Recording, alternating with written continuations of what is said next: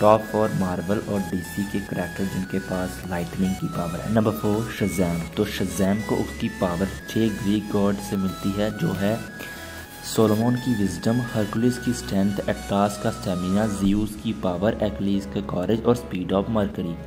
تو شزیم کو انہی گاڈ میں سے زیوس اسے پروائیڈ کرتا ہے لائٹننگ پاور اور شزیم کی لائٹننگ پاور اتنی پاورفل ہوتی ہے کہ وہ بڑے بڑے بلڈنگوں کو ایک چٹکیوں میں ختم کر سکتا ہے۔ نمبر تھری بلیک ایڈم تو بلیک ایڈم کی پاور لیول بالکل شزیم کی طرح ہے بٹ ڈفرینس یہ ہے جیسے کہ بلیک شزیم کو اس کی پاور گریک گاڈ کو ملتی ہے لیکن بلیک ایڈم کو اس کی پاور ملتی ہے ایجپشین گاڈ جو آتے ہیں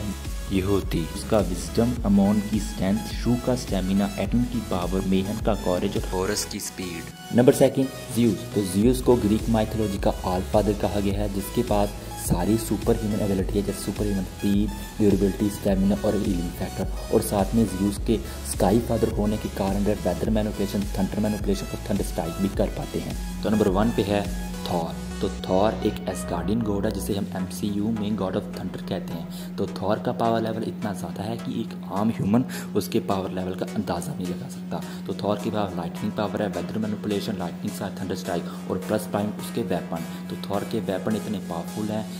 جیسا کہ آپ نے انفینیٹی وار میں دیکھا ہی ہوگا۔